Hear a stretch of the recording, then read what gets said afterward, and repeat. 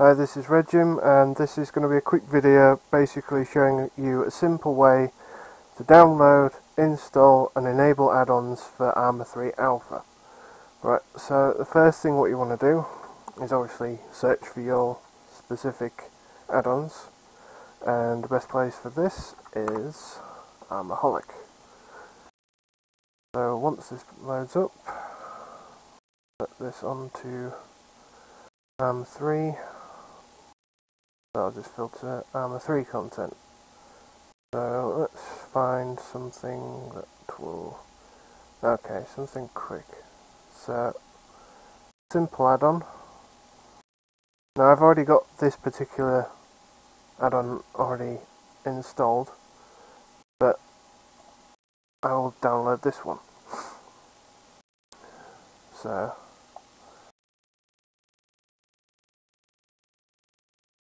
download that, it's only a megabyte, it shouldn't take too long. Right.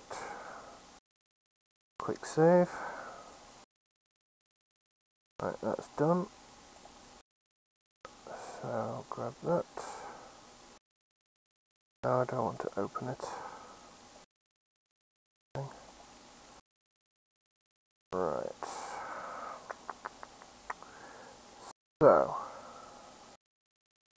what we want is that. You can either open it with whatever you used to open it with, doesn't really matter. So basically you'll have, sometimes mods will vary, sometimes you'll just have an, an app folder like this here, and sometimes you'll have a user config folder as well. And that will basically contain other stuff that is required for this particular add-on to basically work. So where you want to be putting these is basically in your Steam directory for Arma 3. For mine it's in my computer, C drive, program files 86, Steam, Steam apps, common, and then Arma 3. As you see I've already got some mods already installed on this. So now I'm going to basically now install and, and then enable this particular mod that I've put on. So as I said before, there's two folders in here. There's already a user config folder in this, but we'll get to that in a sec. So the first thing you'll want to do is extract this folder into the directory, like that. That's that done. Now, for the next bit for the user config, you'll want to open the user config folder out, and then you'll want to basically go in to this, open that up, and then extract that folder into there. Now if you haven't already got a user config folder you could just basically go back, just drag that straight into your Arma 3 directory folder. So that's to, just to explain that.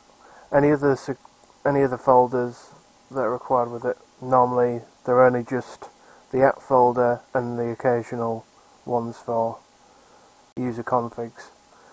So now I've got that done, I am going to now go to my Steam and then I'm going to enable, I'm going to launch the game and then I'll show you how to enable the mods. So, to 3, hit play, and we'll just let the game load.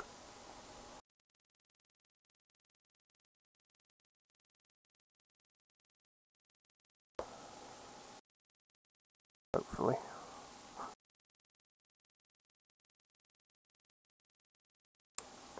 Okay.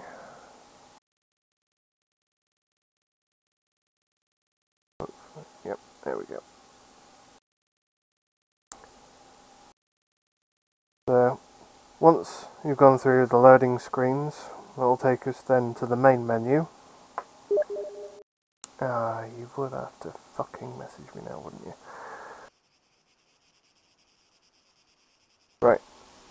So, what you want to do is, on the main menu, you want to go and click on the options, and then you want to go to the expansions tab, and that will bring up your list of add-ons.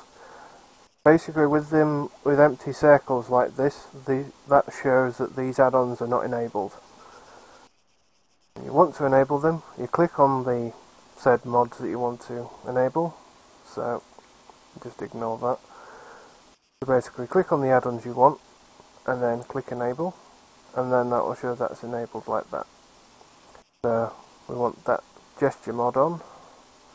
Uh, I'll just include add all the other ones because I just did that to show you from doing this from scratch. So once you've done that, all the ones that are selected you want enabling. Once you're happy with what you want to basically enable, hit OK. You're happy to start? Yep. Just hit the restart button, it will then restart the game and then it will load all the add-ons for the next time that this is up. So go back into the game again through the load screens and hopefully it will all be loaded and ready for you to use.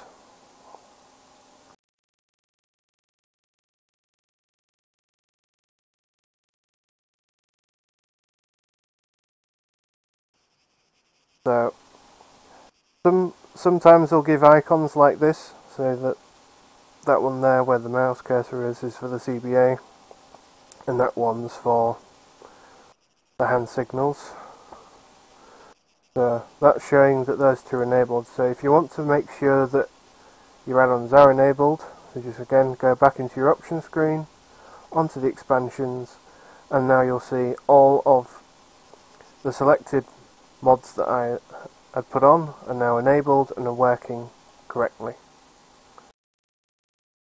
Uh, don't need to do that. So that is the that's basically it for all you need to know of a simple way to install and enable your add-ons. So I hope that clears things up for some people and thank you for watching.